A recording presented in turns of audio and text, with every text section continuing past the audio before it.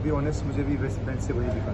So that's why कि इसमें जितना भी स्टाफ था और प्लेयर्स थे सब थोड़ा सा गुस्सा हो गया क्योंकि जिस एंगल से हमने देखा कि सीधा लगा कि नहीं है पेनल्टी लेकिन रेफरी ने मुझे लगता है कि विद इन नो टाइम वो पेनल्टी वो डिसीज़न दे दिया आई थिंक कुछ कर नहीं सकते। हैं अब रेफरी से बात करके वो रेफरी आपको फिर से वहाँ से योर क्वेश्चन दे सकता है। So once decision is be given so you can but I think मुझे लगता है कि मेरे हिसाब से कि थोड़ा इम्प्रूवमेंट होना चाहिए।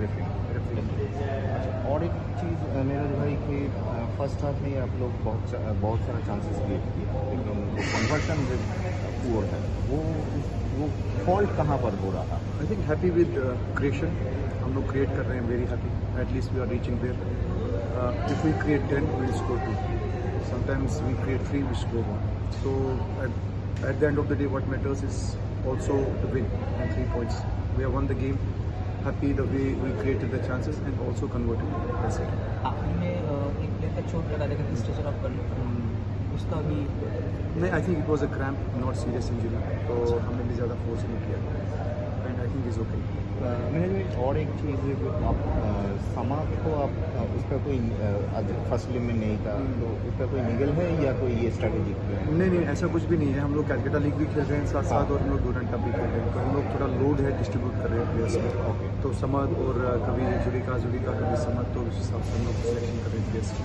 पिछले मैच में भी देखा था इस मैच में भी। तन्मय के आने के बाद ही थोड़ा मूड चेंज हो गया टीम का जो बैलेंस था एकदम परफेक्ट हो गया। फिर तो पहले से ही तन्मय बने नहीं नहीं पहले मैच में जब आया था तब मैं तो तब तो मूड मुझे लगता है कि थोड़ा इंटेंस हो गया था मैच लेकिन आज तो हम लोग पहले से ही इंटेंस थे। इंटेंस ऐसा नहीं हुआ कि तन्मय के आने के बाद ही हम लोग अच्छा खेले Tanmay is doing a good job जब वो आ रहा है और जो भी सब में आ रहा है। हमारे पास तीस प्लेयर है तो तीसों मुझे लगता है कि हमारे लिए इम्पोर्टेंट है।